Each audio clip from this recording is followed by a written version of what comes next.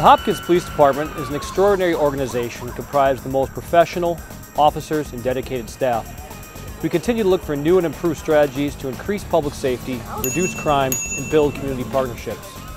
Our mission statement is simple, service to the community with honesty, integrity, and respect. Go Hopkins Police! Our policing philosophy begins with recruiting, hiring, and continually training the best and brightest officers to serve our community.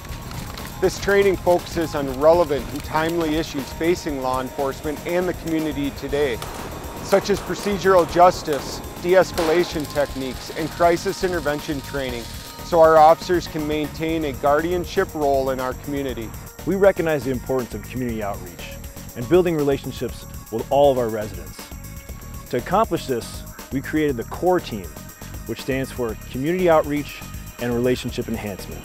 This group of employees encompasses an outreach liaison who works directly with our multicultural residents, a crime prevention liaison who focuses on educating the community on police practices, and a school resource officer whose main job is to build relationships with youth in our community through non-enforcement contacts. Hopkins Police are committed to the youth in our community through collaboration, partnership, and engagement because we know they are our future leaders. Hopkins Police have strong support from our community partners that help us create deeply rooted, trusting relationships with youth and their families. My goal is to bridge the gap between the police and various communities through education and positive outreach.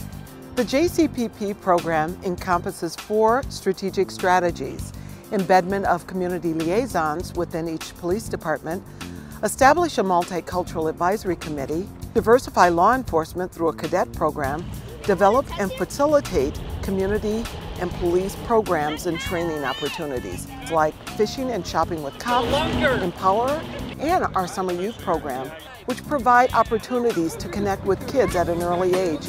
It's coordinated efforts of what you see behind me with police and fire that help make this public safety great for the citizens of Hopkins.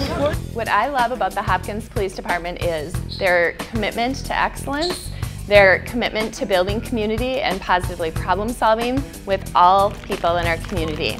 I also love their proactive strategies that they're working hard to learn about and put in place that ultimately make our community a safer and stronger place to be. The most important thing they do is be a presence here for us in Hopkins, to let us know we are safe, to let us know that they are here, and to let us know that they care.